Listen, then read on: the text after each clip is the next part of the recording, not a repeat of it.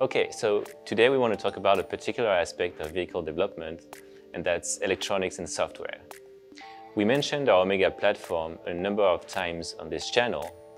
Today, let's have a look at what it is and what it means for Atlis. Traditional vehicles tend to have between 50 to more than 100 control units, those little or not so little computers in a car that manage car functions like driving functions, comfort, lighting, infotainment, and so on. Because a lot of those are outsourced to tier one suppliers, they tend to be all very different and don't really share components, while they are performing very similar functions. On the other hand, Atlis's approach is to own electronics and develop them in-house. It gives us a unique opportunity to optimize and simplify the architecture with less control units and less diversity. I have here a simplified version of the Atlis architecture. It's a bit too technical, but the only thing that really matters is the number of colors. You can only see four here. In the previous diagram about the traditional vehicle, you could see 80 different colors. We have only four here because we have only four hardware and software platforms. And that's because 90% of our architecture is based on Omega. As you can imagine, all this simplification represents shorter development time, lower development costs, and higher reliability. To tell you more about it, here is Matteo. So, the hardware is made up of all the necessary systems that are needed to make a portable computing platform.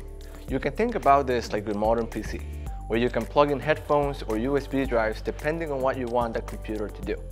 The key point here is that we keep the same base system instead of having to multiply it out every time for each application. As part of the central platform, we have all the hardware and software needed to implement automotive Ethernet as the main communication interface in our platform. This allows us to utilize the robust data transport technologies that make up modern internet as we know it. Using only one type of interface also allows us to add flexibility and massively simplify our design. One thing to understand here is that when you use a microcontroller like the one we have in Omega, there are usually months of software and hardware development involved into getting these platforms to work.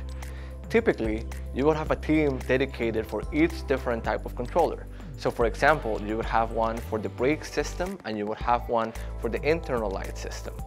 The problem with this is that this increases risks and costs as the teams would probably not implement the exact same system. Here at Atlis, we've chosen a different approach. We actually chose the same base platform, allowing us to dedicate all of our developer effort into making this platform as robust, secure, and power efficient as we can. Thanks, Matteo. As you can see, Atlis is hard at work to simplify, optimize, and redefine how vehicles are made.